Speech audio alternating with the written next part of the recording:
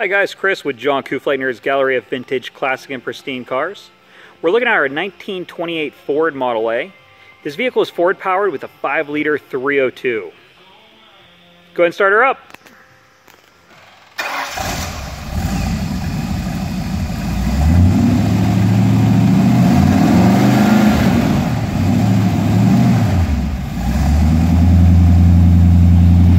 This car idles nice and smooth, has a great sound to it.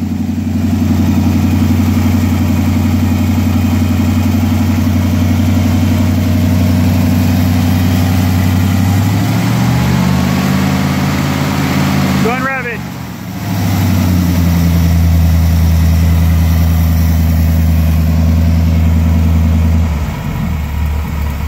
Go and rev it.